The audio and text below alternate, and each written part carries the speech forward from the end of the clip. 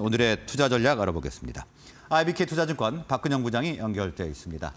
아, 박근영 부장 나와 계신가요? 네, 안녕하십니까? 네, 안녕하십니까. 자, 오늘 어떤 이슈 주목하고 계신가요? 예, 최근에 그 IT 부품주들에 대한 흐름들이 다소 고개를 들고 있는 모습입니다.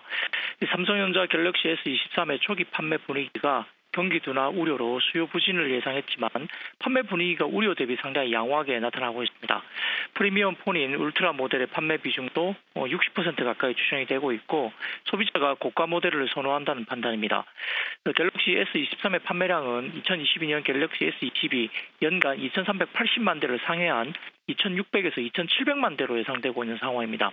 특히 2억 화소 카메라를 적용한 울트라 모델 판매 증가로 카메라 모듈과 MLCC에서 삼성전기라든지 그리고 손떨림 보정 부품인 OIS에서 MC넥스나 자화전자의 추가적인 매출을 예상합니다.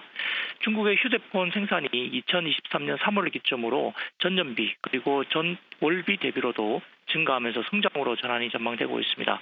reopening 정책과 스마트폰 교체 수요로 MLCC 등의 수동 부품 수요가 3월부터 증가가 추정되고 있고 중국에서 휴대폰 재고 상황이 매우 낮고요. 재고 축적 가능성도 상존하고 있다고 볼 수 있습니다. 어, 올해 1월 생산은 2월 물량을 감안하더라도 3천만 대 정도 수요로 예상을 상회하는 모습이고요.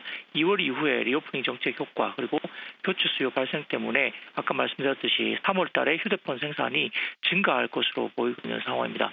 애플의 아이폰 15 신형 모델도 생산이 이전 대비 한 달 정도 선행될 것으로 예상되고 있는데 예, 전반적으로 아이폰 14 판매 부진을 만회하려는 정책과 그리고 아이폰 15에 특히 프로맥스의 폴리디즘 카메라 적용이나 4,800만 화소 4개 모델 확대 등으로 인해서 이러한 사양 변화로 인한 안정적인 수요 확보의 중요성 때문에 한 달 정도 선행되어서 아이폰 15의 생산이 아마 앞당겨질 것으로 보고 있습니다.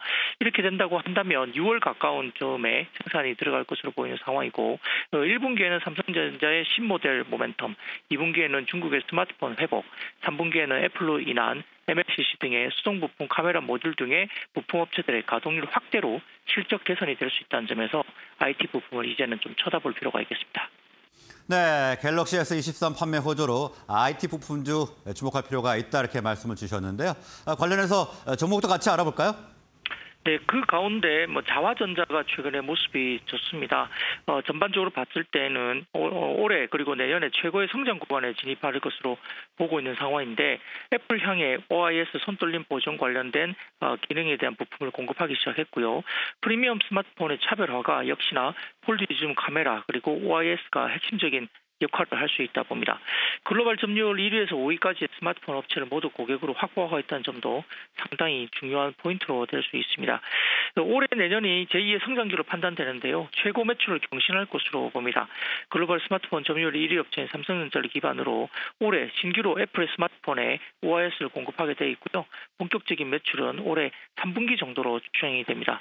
전체적으로 애플의 올해 프리미엄 모델인 프로맥스의 신규로 OIS 공급이 시작되면서 처음 처음으로 folded zoom 카메라 채택되면서 encoder 타입의 손떨림 보정 관련된 부품을 LG 이노텍과 자화전자에서 공급받을 것으로 추정되고 있기 때문에 이러한 부분들이 모멘텀이 될 있을 것 같습니다. 어, 내년 같은 경우는 폴리즘 카메라 채택이 두 개 모델로 증가될 것 같고요. 여기에 따라 공급 확대와 동시에 수율 안정으로 영업이익단이 본격적으로 증가할 것으로 보이고 있는 상황이기 때문에 최근에 주가 부분들이 견조하게 올라가는 모습을 보고 있지만 중장기적인 흐름에서는 좀 더 지켜볼 필요가 있겠습니다. 네, 휴대폰 부품주 중에서 어, 호실적이 지속되고 있는 자화전자 오늘 알아봤습니다. 오늘 말씀 여기까지 듣겠습니다. 고맙습니다. 감사합니다.